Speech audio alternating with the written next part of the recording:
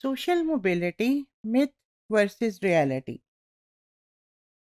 Social mobility is a defined attribute of modern societies, where their struggles for moving ahead of other societies determines various levels of efforts which make such mobility possible and feasible for them.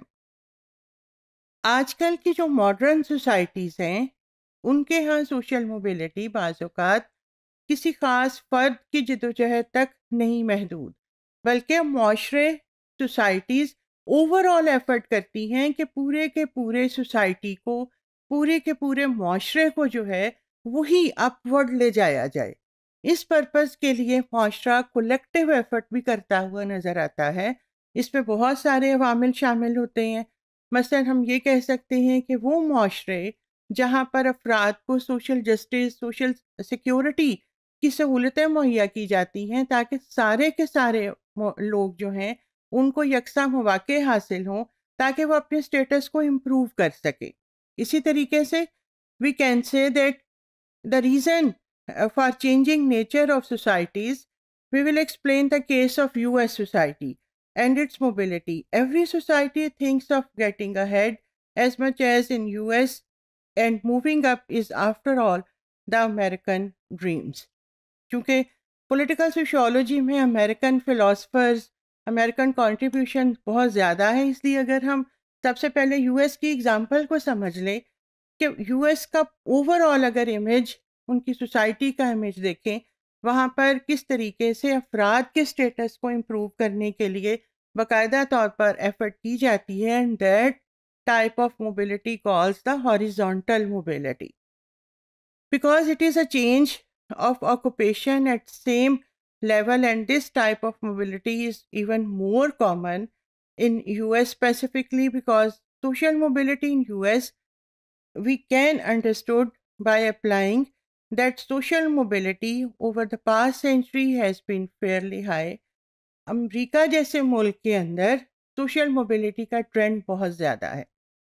किस वजह से बहुत ज़्यादा है? क्योंकि वहाँ overall ही awareness है। Overall they are conscious about the uplifting of their status so the American के studies really interesting in this context because they are trying on the long term basis and they they are moving upward because of the industrialisation in U S and their proper economic policies because the economic policies uh, overall influencing the American society and American trends of life.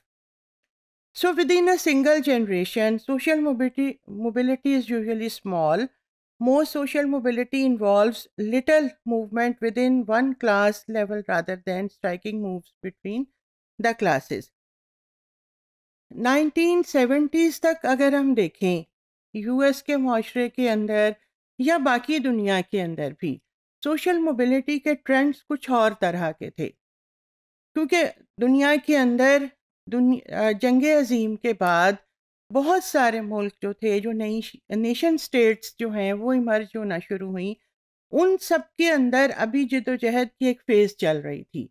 कहीं पर बाकायदा तौर पर political system इस effort में थे कि लोगों की ज़िंदगियों को इम्प्रूव करना है। उसके लिए कहीं पर इंडस्ट्रियलाइजेशन का मॉडल ऑप्ट हुआ, कहीं पर इकोनॉमिक डेवलपमेंट का मॉडल ऑप्ट हुआ और कहीं पॉलिटिकल एंड इकोनॉमिक का कॉम्बिनेशन ट्राई किया गया।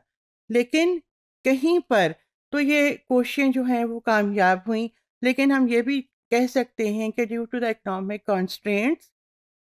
mostly people are still in the struggle to improve their life. तो सोशल मोबिलिटी को अगर हम मिथ और रियलिटी के साथ करें, मिथ के कॉन्टेक्स्ट में we can say that in some developed countries the people are enjoying much facilitative life they are enjoying the life with lot of opportunities but in the developed world where social mobility is still like a myth क्योंकि लोग improve करना चाहते हैं, लोगों की, लोगों का trend है, लोगों की एफर्ट है but still they are in the process of struggle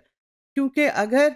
अच्छी तरफ़ जाना है स्ट्रगल के थ्रू अपने सोशल स्टेटस को इम्प्रूव करना है तो ये बहुत शॉर्ट टर्म वे में अचीवेबल नहीं है। ये कांस्टेंट प्रोसेस है, जो किसके थ्रू चल सकता है with the effort of the political system as well as the improvement in the economic system